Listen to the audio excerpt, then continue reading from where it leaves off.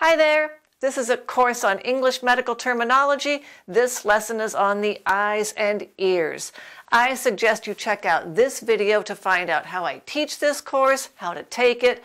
I also suggest you check out this video on the basics, you know, the basic English medical terminology that I use throughout the course, including in this lesson. So, Get your pencil, keyboard, or stylus, whatever you use to take notes, and after a little guitar music, we'll get started.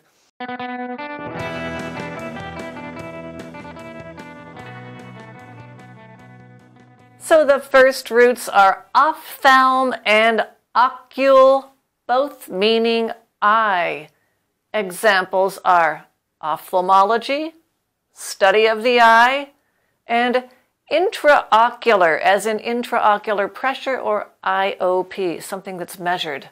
The next term, opt, meaning eye or in particular vision. An example, optic, like the optic nerve. And there are plenty of examples of this root in everyday life. Optics, bad optics. That's, that means, uh, you know, a scene with a bad look to it.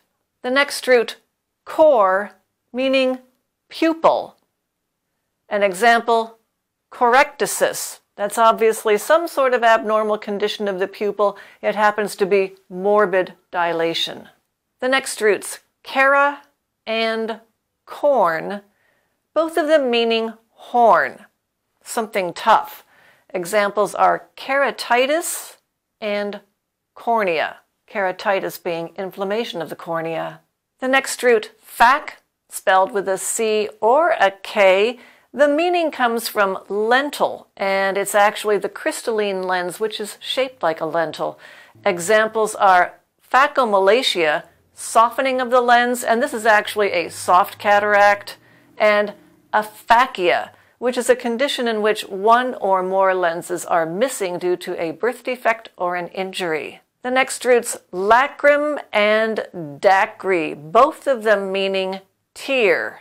And that root lacrime is found in real life. Lachrymose means tearful or sad. Examples in medical terminology, the lacrimal duct, tear duct, and dacryocyst, the tear sac.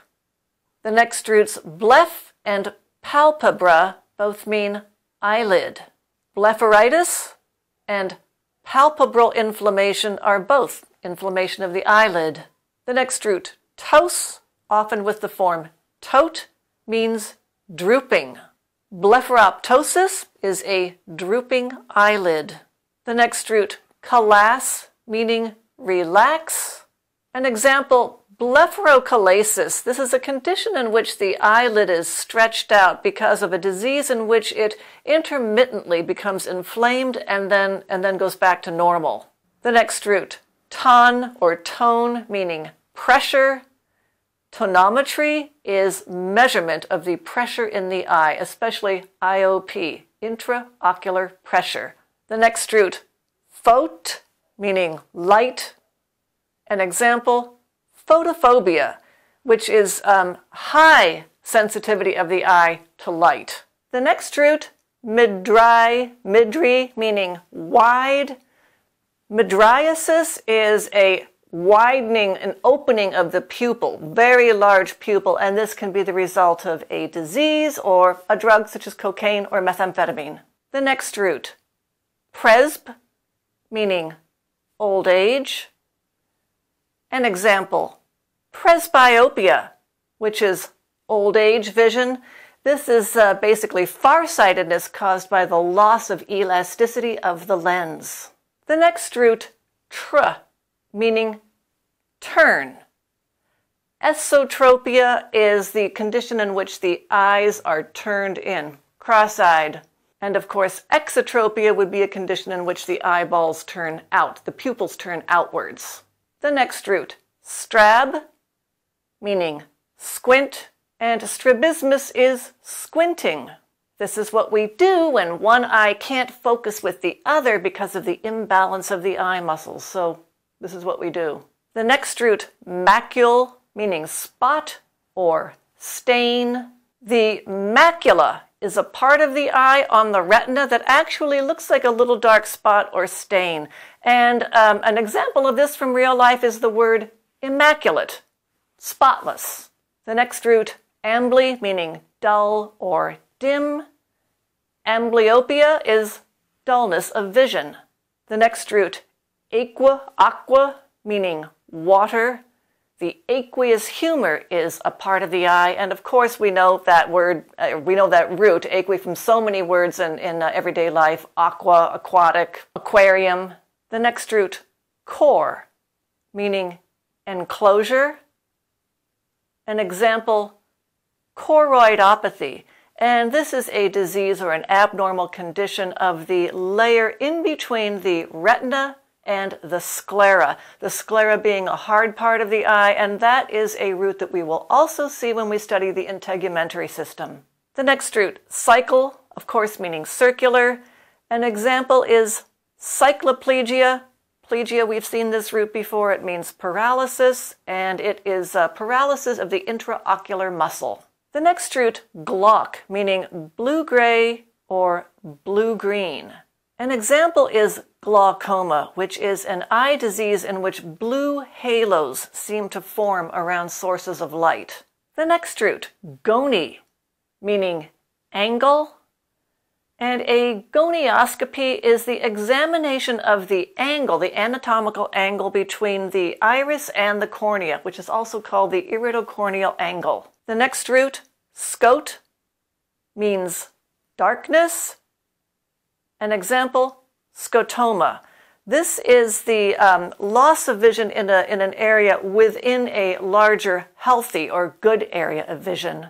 Moving on to the ears now, this root audi, meaning sound, and of course you often use the word audio simply to mean sound. An example in medicine is audiometer, which is an instrument used to measure a person's hearing. The next roots, cusis, oat, and or all meaning hearing or ear. An example, presbycusis, which would be the loss of hearing associated with old age. Otoscope, um, an instrument used to do a visual examination of the ear. And aural discharge, which would be a discharge coming out of the ear. The next root, cera, meaning wax.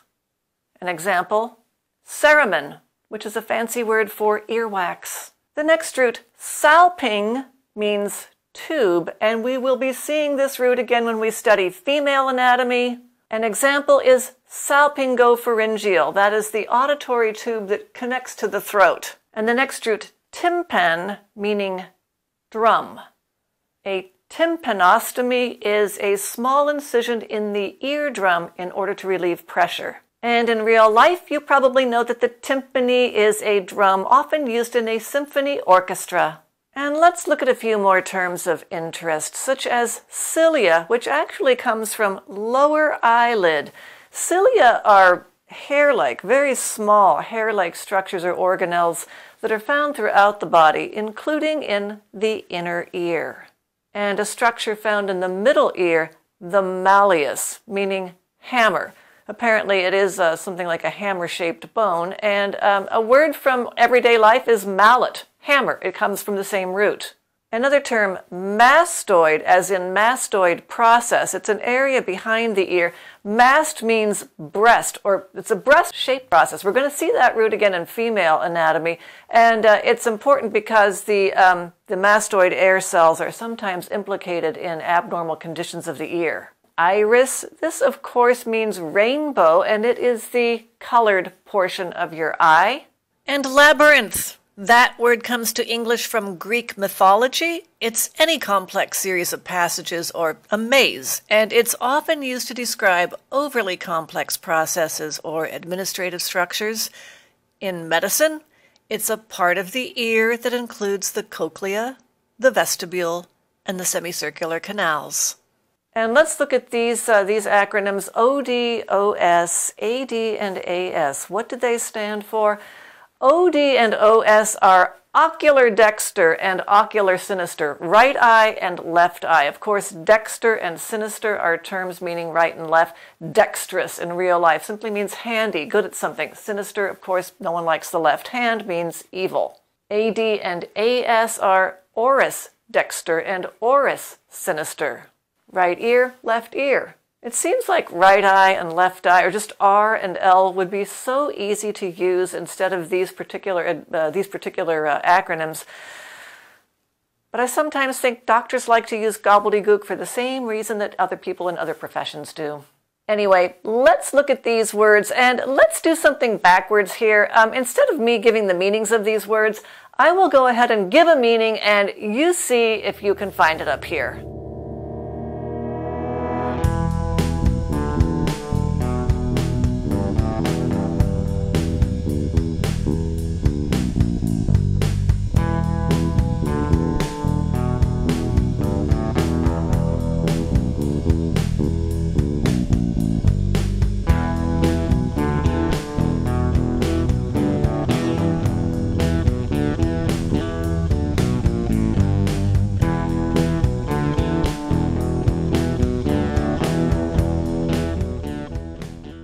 Start with the ridiculously easy one an ulcer of the cornea, corneal ulcer.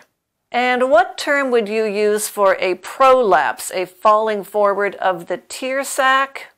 Dacryocystoptosis. And let's clear up for once and for all the difference between an optometrist and an ophthalmologist.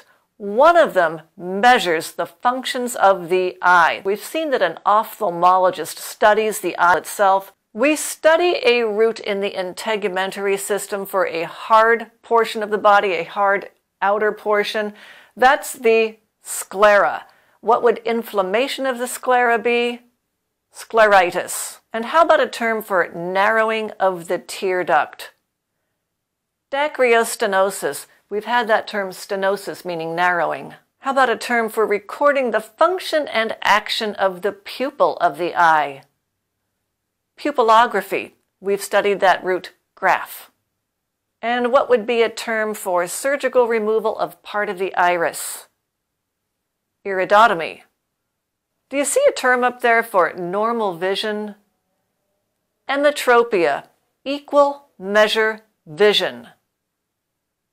How about a term for double vision? Diplopia.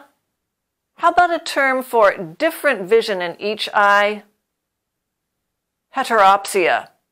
How about a term when the macula degrades and its function fails? Macular degeneration. How about an eye disease that involves inflammation and discoloration of the retina? Retinitis pigmentosa. How about a term for loss of sight in half your field of vision, as if from a stroke? Hemianopia, half no vision hemianopia.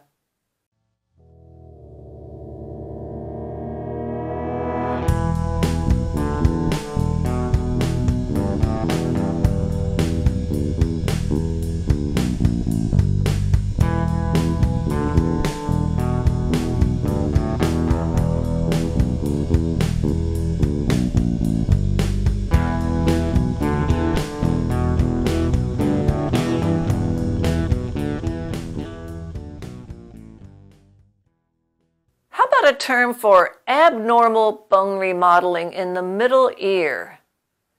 That's otosclerosis. Um, we know means hard. Sclerosis is abnormal hardening of any body tissue. And a term for measurement of the function and action of the eardrum and middle ear, tympanometry. How about oversized outer ears? The outer ear, that's the part you see macrotia. And how about a term for a birth defect in which one or both of the outer ears do not form fully or do not form at all? Microtia. How about a term for a clear fluid in the membranous labyrinth of the inner ear? Fluid. Endolymph. And how about a term for an extracellular fluid that surrounds the endolymph? Perilymph surround. How about a term for a very small bone, especially one of those in the middle ear? Ossicle. Os for bone, cul, a root meaning small. And how about a small membranous sac within the inner ear? Saccule. Cule also being a root that means small. How about a term for surgery carried out on the cornea, especially corneal transplantation? Keratoplasty. And how about a term for inflammation or infection of the middle ear causing a persistent discharge? Suppurative otitis media, middle ear. And this is a condition that may have to be treated with a mastoidectomy. So there are some terms and some roots to get you started on a study of eyes and ears. I'll see you in another lesson.